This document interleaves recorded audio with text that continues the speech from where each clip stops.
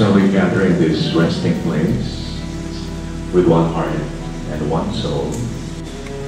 We say goodbye for now, but until next time, we shall be forever with our beloved.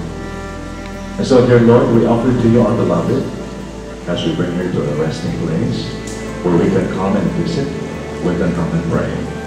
As one family, let us pray the Lord's Prayer of offering our Father in heaven. Holy be your name.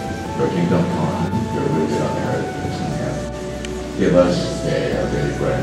Forgive us our sins, as we forgive those who sin against us. Do not have to test, deliver us from evil. Hail Mary, full of grace, the Lord is with you. Blessed are you among women, and blessed is the fruit of your womb. Holy Mary, Mother of God, pray for us sinners, now and at the hour of our death. Glory to the Father, to the Son, and to the Holy Spirit, to us